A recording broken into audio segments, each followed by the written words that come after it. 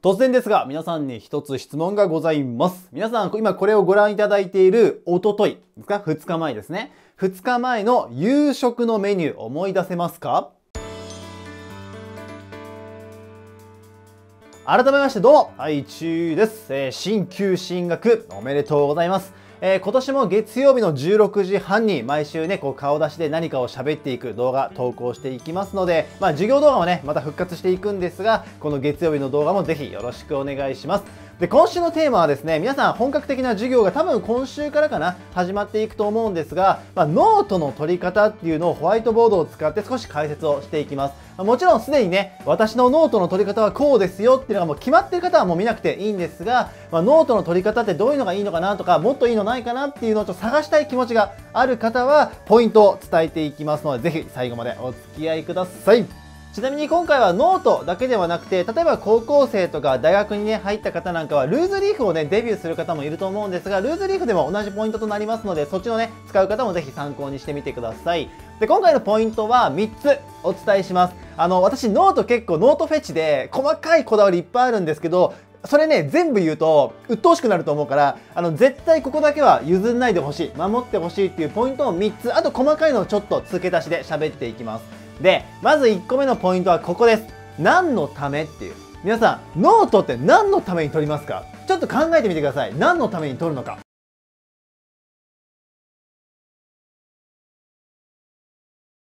中学1年生になった方とかだとまだピンとこないかもしれないんですがノートってテストの時にノート提出があるんですよ。結構な先生がするのね。でノートをちゃんと書いているのかっていうノートの評価。通知表に関わってくるのがあるんですけどよくね自分が塾講師やってた時にこの質問をするとノート提出のためっていう子が多かったんです。いやあながち間違ってはない。もちろんそこでね評価に入るわけだからでも違うんだって。ノートは何のために取るかっていうと私の答えですよ。これは未来の自分のためですなんかちょっと言い方がキザに聞こえるかもしれないけど私ノートって未来の自分へのプレゼントだと思ってます。ずっとそうやって言ってる。未来の自分へのプレゼントって。で、今回冒頭で皆さん、おとといのね、夕食覚えてますかって質問したじゃないですか。覚えてました？おととい。なかなか覚えてない方多くないですか？私も多分ね、うって一瞬止まるもん。なんだっけ？ってなるから。なので、おとといの夕食で食べたものさえも忘れるんですよ。人っていうのは。これテストあと授業を受けた後にそのテスト勉強って、まあ、テストがあるのってさ2ヶ月に1回とかになっちゃうからその1回授業を受けても次のさテスト勉強に使うのって1ヶ月後とかになるんですよね1ヶ月前にやったそのノートの内容とかってパッと見て思い出せるわけがないんですよ。だから後でノートをねいざテスト勉強しようと思った時復習しようと思った時に見た時に自分がそれを使って勉強したいと思うかどうかやる気が出る使いたいと思うかどうかっていうそこが大事なんです。だから、まあ、塾講師の時にこれは別にあの一概にね絶対言えるわけじゃないんですけど傾向としてやっぱり成績が良かった方っていうのはノートへのこだわりが強いんですよ。あとそのノートが綺麗かどうかじゃなくて自分がちゃんとノートを使ってる方が圧倒的に多かった。だから皆さんはそうなってほしい。でもそうなるためにはノートは未来の自分のために取ってるんだって。何色使うのがいいとかあるじゃないですかこだわり。自分は基本的に3色しか使わないんですけど別に3色じゃなきゃダメなわけじゃないよ。カラフルにした方が自分は後々使うんだって。そっちの方が使いやすいんだだったらそれでいいんだって別に。だけど1個の傾向としてこういう風にやるといいよっていうのが私なりなね答えがあるのでそれを伝えていきます。そして2つ目がこちら。探しやすさです。で今回これ見開きのノートだと思ってください。ルーズリーフでね使う方は左側だけ参考にしてもらえればいいかと思うんですがこのノートを書くときにまずその授業で大体先生が黒板に今回の授業のテーマみたいな書いてくれるじゃないですか。それをドンって書きます。で私これ結構な行数使ってくれって言ってて例えば中1で政府の計算ねやるんだったら結構大きくとあごめん噛んだ。大きくていいです。例えば政府の計算みたいな。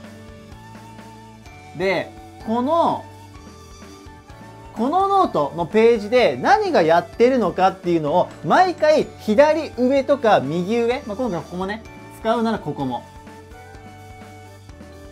に書くようにすると例えばノートをパラパラパラって後で見返した時に上だけチェックすればいいじゃないですか。こことかにもそのドーンってトピックがねあると全部見返さなきゃいけないから探しにくくなっちゃうんですよ。でもここだけで揃えておけば上だけパラパラパラって見れば、まあ、タイトルがねボンと出てるからで大きく書いておけば余計に目立つんでねそうやって探しやすくなると。つまりこうノートがある時基本的には左上にもうドーンって書く。でもしあれだったら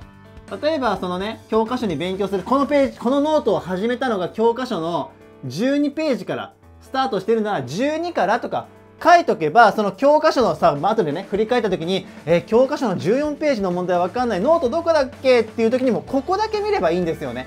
結構、えっと、こうやってね線を引いて毎回 P12 のじゃあ問い1みたいな。あこの問い1とか書いていく私書いていくんですけどページをねここに毎回書いていくのもいいんですがここでまとめちゃった方が自分は分かりやすいかなっていう気もします。まあこれはどっちでもいいです。P12 って書いたりここには P13 の例えば例題、えー、1とかまあ例題2とか。いければこう書いてってもいいんですがひとまず左上にドンってそのノートの内容とかページ数が分かるように書いておくととにかく探しやすくなる。っていうのがあるのでこれは徹底するといいです。ちなみにさっきノート提出の話をしたじゃないですか。で、聞くところによると結構まだいらっしゃるそうなんですが、例えばノートを書いてて、その正負の計算のね、授業がこの辺でノートが終わったとしますよね。開くじゃないですか。皆さんこれどうしますか？で、結構、自分、あのね、ここから詰めて書きたくなる方いらっしゃると思うんですけど、私、ここで授業が終わったら、次の授業はここ書かずにここから書くわけですよ。次のね、まあ、テーマわかんないけど、こう書いてさ、始めるわけ。もったいない感じするでしょでも、開けてていいんです。何よりも探しやすさのが大事だし、後から、例えば振り返った時にさ、家帰ってこの問題復習して、いろいろ書き足すこともできるかもしれないわけなんですだから基本的には開けてくださいもう上に統一するってただただ先生によってはこの隙間を開けてるとこれが減点なんで隙間空いてるんですか？詰めてくださいってノートに書かれる生徒が結構いました。10校まあ、10校舎ってのも結構昔なんでね、もう今はそんないないからとは思うんですけど、もし皆さんの先生がこのタイプの方だったら、だったら、これ無理やりやらなくていいです。ね、そのためにどうノートの減点されるのもったいないので、まあ、詰めてもらって構わないんですが、あの、もしね、大丈夫そうであれば、基本的には上で揃えるっていう風にやっていってください。そして3つ目が問題レベルです。で、ここはですね、少し細かい話が増えていくんですが、私の推しポイント、まあ、全部推しなんですけどね、推しポイントなので、しっかりついてきてください。え少し書き足しました。問1、2問やって、例題書いて、問いに3問書いてるみたいなね、感じなんですけど、まず、解いてる時に、もちろん先生の説明を聞いた後に問いとかをやっているので、正解しやすいことも多いと思います。例えば友達にね、隣の人にちょっとアドバイスもらって解けたとかもあると思うんですけど、解けたとかのレベルの中にも色々あるわけです。例えば、もう一人で余裕で解けましたっていうレベルもあれば、さっきみたいに先生のヒントがあったから、もしくは友達に教えてもらったから解けたって。これ同じ解けたですけど、えらい違いがあるんです。何が違うかっていうと、自力で解けた場合はおそらく帰ってからも多分解けます。俺それでも不安なんで確認しますけど、でも2番目のヒントとか友達の力を借りて解けたものは帰ったら自力じゃほぼ解けません。ちょっと言い方がきついかもしんないけど、90%以上解けないと思ってください。だから、実際解いてみて、あ、あと1個細かいんですけど、丸つけるときって全体に丸よりもこういう、ま、こういうとこだけに丸つける方がいいですよ。あの、後で整理しやすくなります。これ個人的に思ってることね。丸、×とかね。こういう方がいい。はい、あの消しにくくなったりするんでかぶっちゃうと、まあ、ちょっと話それましたけどで例えば丸の中でもこれは余裕だったとでもこれちょっとヒントもらったなってなったらちょっと怪しいマークをつけておくんですあ俺はこれクエスチョンマーク今例えで出してますけど何のマークでもいいです例えば後で話しますけど付箋を使ってもいい付箋は、えー、教科書の中あごめんなさいノートじゃなくって筆箱の中に一つは入れとくといいですできれば細いやつちっちゃいやつの方がいい。100均とかで全然構わないので、付箋はあるといい。付箋を貼っててもいいね。で、そのレベルによっても、ちょっと怪しいなってものもあれば、自分が解いてて、いや、これできたけど、結構怪しい気がするって、怪しい度合いが高いものとかだったら、ハテナを1個増やすとかでもいいですよね。×がついてればさ絶対復習が必要なのは分かってるんで丸のものでも怪しい度合いを決めておくで余裕のものは別にマークつけなきゃいいからそうすると間違いレベルがこうね、まあ、正解の中でも怪しいもののレベルが分かるわけですしつこいですけど、おとといの夕食を忘れるぐらいなんで、後で1ヶ月前にやったノート、どれが怪しかったかなんて忘れてるから。それ思い出せるんだったら多分勉強苦労してないから、そもそも。なので、その勉強、授業を受けてる時に怪しいレベルマーク、まあ、付箋使ってもいいし、マークでもいいんだけど、こういうのを書いておくんです。これは絶対やりましょう。ちなみに社会の授業とか、まあ、理科の授業でもそうですけど、ちょっと途中から書いちゃいます。本当はここに、あの、江戸時代とかね、書いてほしいんですけど、まあ、歴史のノートとかだと結構いっぱい書くことが多くなるじゃないですか。で、書いてる時に、まあ、先生の説明聞きながらさ、必死でこう書いていくでしょ？でも、その、あんま興味ないというか、わかんねえな、なんだろうこれ復習必要かもって思ったら、そこでもつけるといいです。これは今回数学で話をしてますけど、社会とか理科とか国語とか英語、どの科目でも間違いマークをつけておくっていうのはすごく後で見返した時に重要度、間違いレベルが分かりやすくなるので、他の科目でもぜひね、使ってください。あと細かい話を2つします。さっき出した付箋の話をしたいんですが、付箋なんで入れとくといいかっていうと、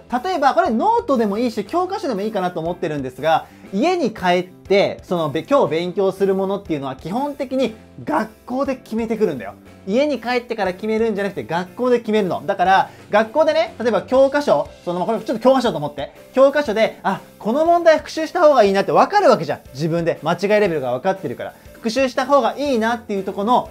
付箋をつけておくんですこうやって。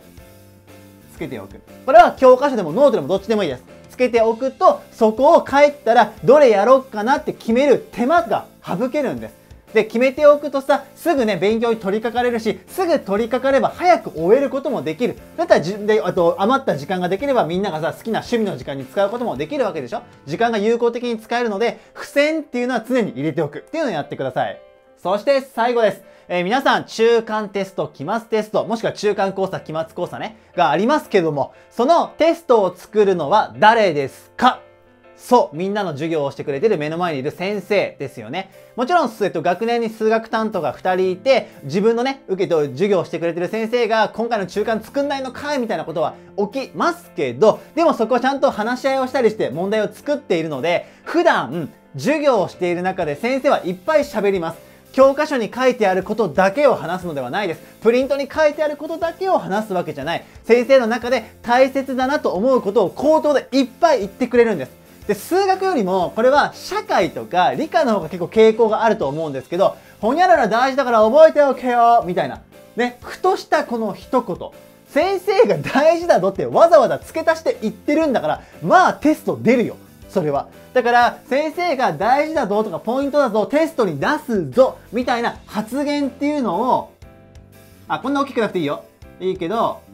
ちゃんとメモしておく私は基本的に黒と赤しか使わない。なんで3色かっていうと、この大事なメモを青で書くようにしてました。あとは、間違った時になんで間違ったみたいな自分のツッコミとか書いてた。これ例えばね、計算ミス。まあ、俺分数のミスがすごく多かったんで、例えば、例えばよ。また分数かよみたいなね。あ本当にやってたからねこういうの。俺問題集とかにもこういうツッコミ書いてたから。そう。って書いてその自分だってこれ見たらさ俺は分数でケアレスミスが多いんだ気をつけなきゃなってまた思い出すこともできるわけだし。でこっちのポイントは当然ねテストで活かすこともできるし。だって先生が大事って言ってるってことは当然ね定期テストだけじゃなくて本当に勉強において大事なことなんだよ。だからそれが模試とか受験にも当然活かすことができるので授業をっていうのは先生がやってることをメモするだけの時間あと書くだけの時間じゃない。それプラスアルファで後で見返した時に未来の自分が見た時にどれが大事だったのかな？どれがつまずきやすかったのかな？が大事だったりとかうわそうだ先生こんなこと言ってたわ。そうだこれやっとこうみたいな。思い出せるでしょ？後で未来で見た時にすごく役に立つじゃないですか。でこれは俺が今オーソドックスに説明した部分になるのでこっからみんながアレンジしてみんなが好きなように変えてくれればいい。私は未来の自分のために私はこういうノートを作るんだ。でそれで構わないんだから。まあ一つ今回ね、例として受け取ってもらえたら嬉しく思います。はい。ということで、今週もね、お付き合いいただきありがとうございました。また来週ね、何か喋っていきますので、ぜひそちらも見てみてください。それじゃあ今週1週間も頑張っていきましょう。それじゃあまたねバイバイ